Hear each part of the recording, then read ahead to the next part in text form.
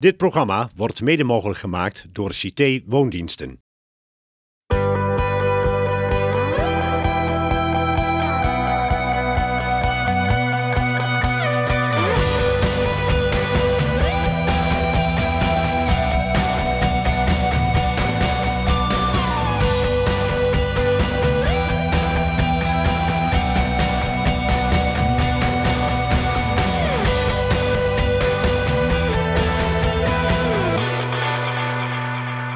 Welkom bij een nieuwe aflevering van het programma voor en over de bewoners van Cité. Vandaag gaan we op bezoek bij Tinus Hoekstra, eigenlijk een bekende Gelderlander. En Tinus heeft zijn huis helemaal verbouwd. Veel huurders besluiten om hun woning grondig aan te pakken. Zelf aangebrachte voorzieningen wordt dat genoemd. Tinus heeft zijn huis compleet verbouwd. Van de douche tot het voorportaal en verder. Ik ben benieuwd waarom hij dat heeft gedaan. Goeiedag, Goedendag, Timo. Tinus Hoekstra. Hi, ik was op zoek naar de bel. Ja, nee, die hebben we hier niet. Nee, dat had ik al. eh, Nee, dat hebben ze bijna nergens hier dus. Nee, nou, was ik benieuwd. Zeg, eh, ik kwam even kijken, want je had je huis helemaal verbouwd. Oké. Ik benieuwd hoe het geworden is. Ik zou zeggen, kom erin. Nou, prima. Wel even de schoentjes uit, hè? Oh ja, ja, dat is prima. Nou, eh, dankjewel. Alsjeblieft. Wat woon je hier mooi? Jawel, hè? Ja, ziet er netjes uit allemaal. Je hebt alles zelf eh, gedaan? Niet alles zelf laten doen. Laten doen. je bent niet zo handig. Ik ben niet zo handig, nee. Dat klopt. Wat heb je, wat heb je allemaal eh, gedaan eh, aan het Ja, huis? het huis is eigenlijk eh, van boven naar beneden is het gestript en eh, ja, je kan zeggen van binnen opnieuw opgebouwd. Die, die, die keuken, dat is, dat is niet een standaard cité-keuken, zeg maar. Nee, nee, dat klopt. Wat ik nou zo bijzonder vind, is dat eh, als dit nou een huurhuis is, Ja. dat je het zo enorm opknapt. Ja, kijk, ik wou hier altijd al wonen en eh, ik ben drie jaar eigenlijk bezig geweest om te reageren. En uiteindelijk krijg je een huis hier op Kleintjeskamp. En eh, ja, dan moet, je dan moet je het toch goed doen. Ja. Ik kan het wel half klaarmaken, maar ik ga hier toch nooit meer weg. Nee. Waar- Dus- waarom, waarom kies je speciaal voor Kleintjeskamp dan? Ja, Ja, dat een is- andere buurt in Doetinchem? Dat is toch de buurt waar ik vandaan kom, waar ik geboren ben en waar eh, mijn familie woonde en mijn vrienden. Het is een Dus- hele, hele aparte gemeenschap hier. Hè? Ja, het is- heel, ja, heel het is- intiem samen. Het is, het is eigen allemaal, hè. Het is, eh, we gaan allemaal heel goed met elkaar om. En eh, ja, je ziet het al, daarom hebben we ook geen bel. Omdat je, dat gewoon ons kent ons. Iedereen die loopt hier naar binnen en, eh, en naar buiten. Dus ja. Wat daarom- is het dan dat, dat Kleintjeskamp dat wel heeft? Ja, wat is het dat Kleintjeskamp het wel heeft?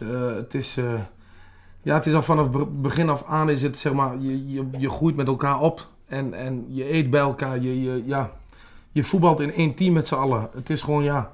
Het is gewoon heel eigen allemaal onder elkaar. Ik, ik heb wel meerdere huizen aangewezen gekregen, maar...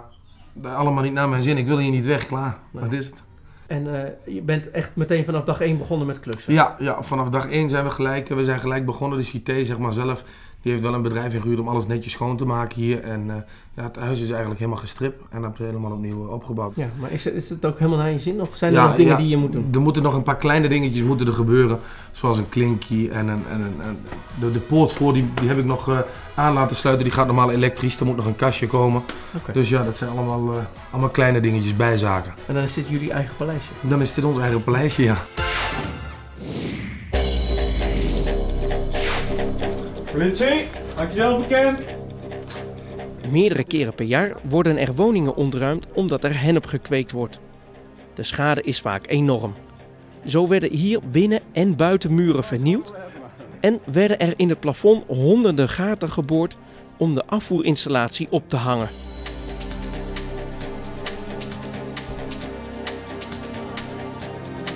De schade, die tientallen duizenden euro's bedraagt om de woning te herstellen, en de kosten voor de inzet van politie, gemeente en de schoonmaakdienst komen voor rekening van Cité.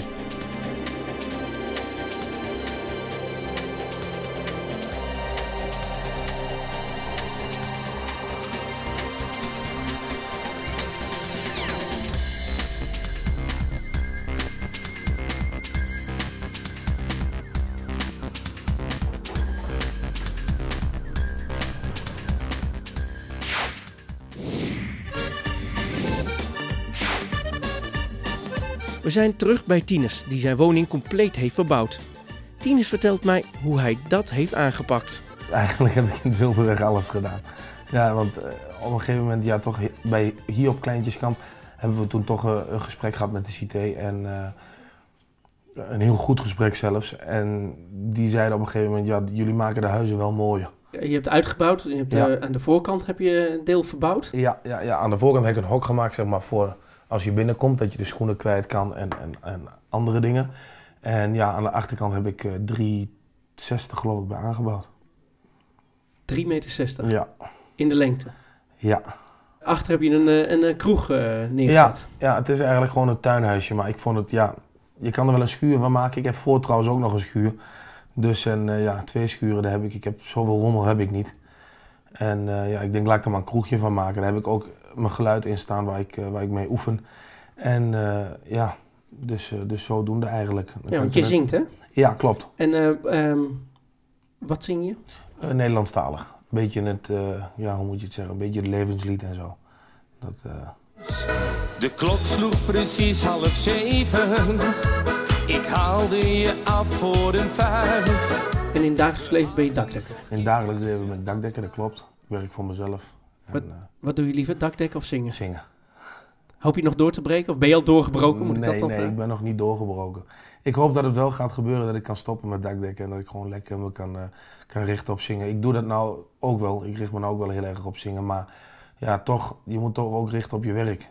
Want je, je- het is niet zo dat ik, eh, dat ik eh, met zingen maar eh, alles kan onderhouden hier. Dat, eh, dat gaat niet. Nog even over het verbouwen in je huis. Ben je ook nog dingen tegengekomen waar Cité het niet mee eens was? Nee, eigenlijk niet. Eigenlijk ben ik, de, ben ik, de, ben ik de vrij goed, eh, heb ik vrij goed met Cité gepraat. Ja, zodoende eh, mocht ik dit aanbouwen en, en vindt de Cité het niet erg. Want ze zijn hier zelf geweest dus. Heb je een droom voor de toekomst? Ja, een droom voor de toekomst. Ja, een droom. Nee, eigenlijk niet. Dat het zingen goed mag gaan. dat, dat heb ik het liefste. En nog een paar hectare grond erbij, want je dochter wil nog een... eh, een, eh, Een zwembad en ja, zoveel geld heb ik niet. nee. nee, het is zo goed. Het is, eh, het is perfect zo. Ik heb het naar mijn zin hier en eh, ja. Ja. voor de rest het gaat goed. Toen we even toen straks eh, zaten te praten, zei je tegen mij van... eh, ja, maar ik, ik zal ook zeker nooit een huis kopen. Nee, Waarom niet? ja, ik wil hier blijven wonen en een huis kopen op Kleintjeskamp is niet mogelijk.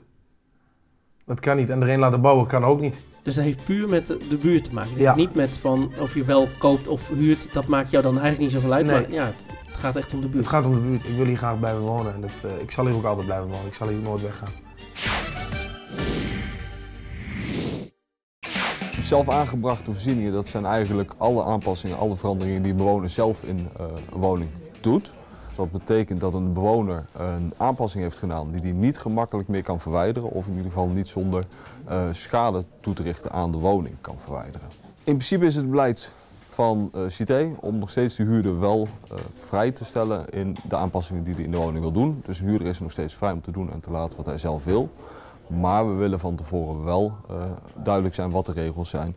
En ook wat er moet gebeuren op het moment dat ze de woning weer gaan verlaten. Op het moment dat u zal gaan verhuizen, dan wordt huur opgezegd. En dan komt er altijd een technisch adviseur bij u thuis kijken. En die zal uitleggen hoe u eh, het beste kunt omgaan met de zelf aangebrachte voorziening.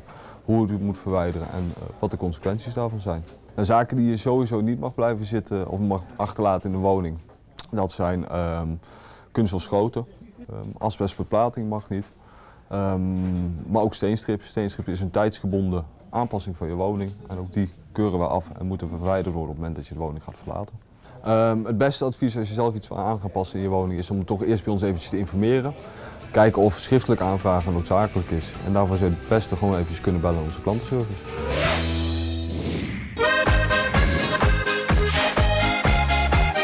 En dan zie ik daar nou eh, de beruchte kroeg.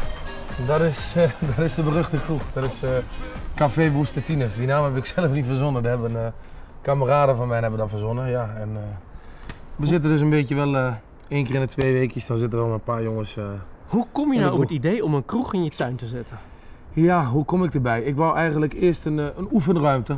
Waar ik normaal zeg maar, voor mijn muziek kan oefenen. Maar ja, als de boksen er dan eenmaal in hangen en een mengpaneel zit erin, dan kun je er net zo goed een babby in zetten. Ja, dat is wel nog gezelliger, toch of niet? ik vind het helemaal mooi. Ik vind het Daarom, machtig. dat bedoel ik. En laat me zien. Ja, kom. Kijk eens, Fantastisch. treed binnen. Schoenen mogen aan? De schoenen mogen aan bij hebben. Hier wel, hier wel. Hier wel. Fantastisch. zeg. Ja. Fantastisch. Dit is je kroeg. Dit is mijn kroeg, ja. Hier, eh, hier zitten we één keer in de twee weken. Ja. Eén keer in de week, dat is heel verschillend. En Hazes eh, in de achtergrond. Ja, ja, ja, ik eh, ben een fan van hazes, dus ja, zodoende. Prachtig, ik doe Kijk, mijn jas uit. jongens, Ik ja. vind het fantastisch hier. Nou, aan de bar dan maar. Dan gaan we aan de baan. Biertje erbij? Ja, doe maar. Ja, in deze kroeg, hè? Ja. Heb je dan geen eh, probleem met eh horecavergunningen en andere soort eh, gedoe? Nee, gelukkig niet. Eigenlijk, Dus, eigenlijk helemaal niet. Het is eigenlijk voor, mijn voor mijn eigen gebruik, dus eh, ja. Ja, er zit geen verkoop in. Nee, er zit geen verkoop in. Ik koop alles zelf en eh, al die jongens wat die komen drinken gewoon voor niks. En Cité doet er ook niet eh, moeilijk om? Nee, ja, ik heb hier eigenlijk nog, eh, nog niet één keer de politie gehad, dus eh, het is gezellig. Eh, af en toe een keer een zangetje laten komen en zo. Ik kan zelf wel zingen, dat gaat er niet om, maar Ja, want over dat zingen gesproken. Je kan zelf zingen. ja. Ik ben eigenlijk even benieuwd naar wat je dan zingt. Hm, nou, dan kunnen we dadelijk wel even een keer laten Ja, zullen horen. we dat even doen? Ja. Proost! Als superboer ben ik geboren. Als superboer zag ik het licht. Als superboer laat ik me horen. Als superboer doe ik mijn plicht.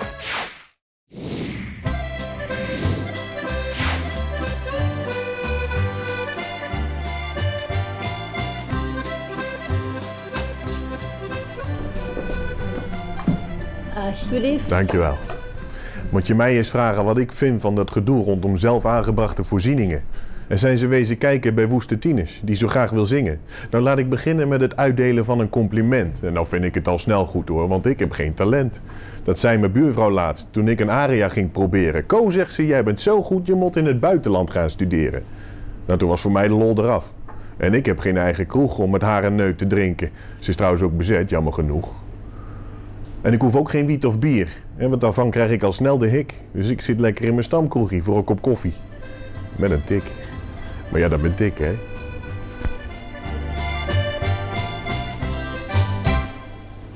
Dit programma werd mede mogelijk gemaakt door Cité Woondiensten.